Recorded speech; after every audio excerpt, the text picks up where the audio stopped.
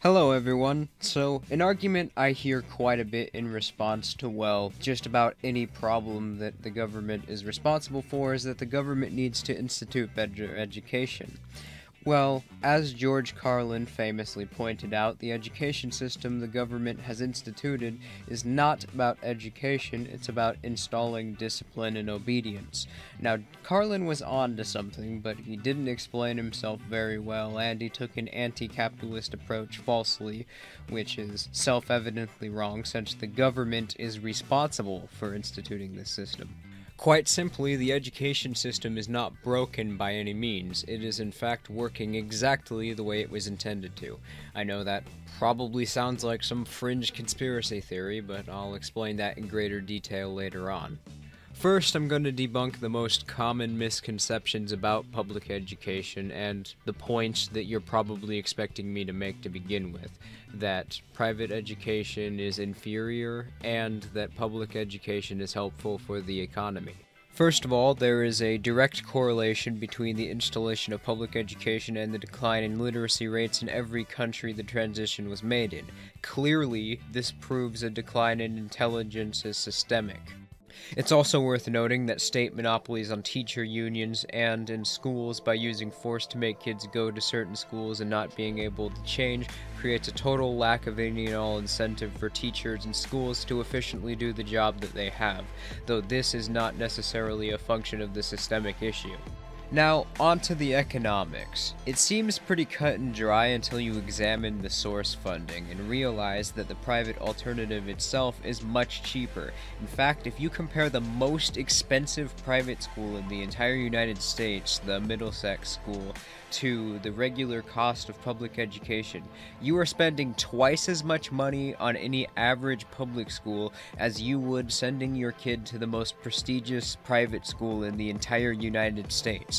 So clearly, public schools are terribly cost ineffective.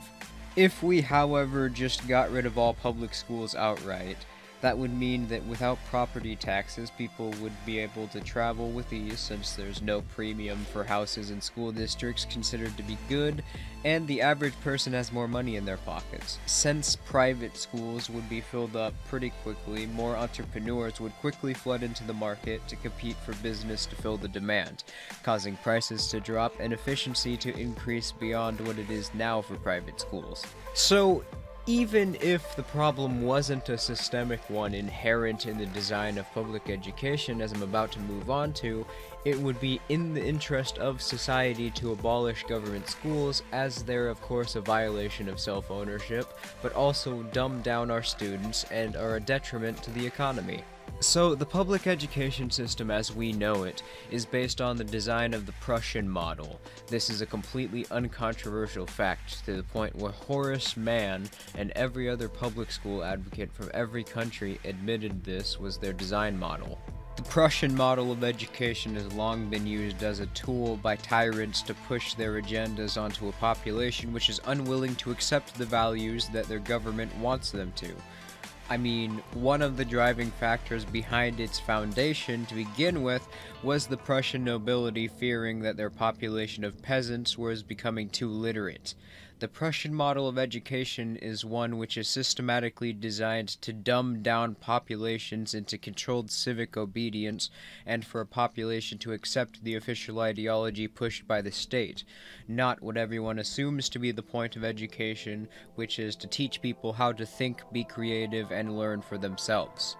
Now, people aren't incorrect in assuming that education should be teaching people how to think for themselves, since that's really how private homeschool or apprenticeship education works, and that's why historically it has produced smarter populations, as noted.